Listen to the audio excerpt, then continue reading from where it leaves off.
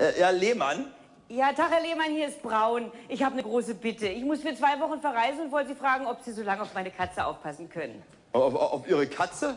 Naja, ich dachte nur, weil Sie doch direkt neben uns wohnen. Ja, aber schön, weil Sie, Sie wohnen da mit Ihrer Mutter zusammen. Kann die denn nicht vielleicht so ein bisschen? naja, schon, aber die ist doch schon ein bisschen alt und es wird ihr alles ein bisschen Na gut, viel. also okay, Ach, meinetwegen. wunderbar. Also nur einmal am Tag ein bisschen Futter hinstellen und ich komme nachher vorbei und bringe die Wohnungsschlüssel. Okay. Jedenfalls sieben Tage später rief sie wieder an. Äh, ja, äh, ähm, Lehmann. Ja, äh, Tag, hier ist Braun. Ich rufe aus München an. Ich wollte nur mal wissen, wie es meiner Katze geht. Ja, Ihre Katze ist tot. Wie, wie, wie bitte? Ihre Katze ist tot. Aber wie konnte denn das passieren? Die war doch kerngesund. Na, woher soll ich denn das wissen? Ich bin doch kein Tierarzt. Jedenfalls ist sie tot. Mausetot. Also hätten Sie mir das nicht ein bisschen schonender beibringen können, ein bisschen zartfühlender? Was soll ich denn sagen? Wenn sie tot ist, ist sie tot.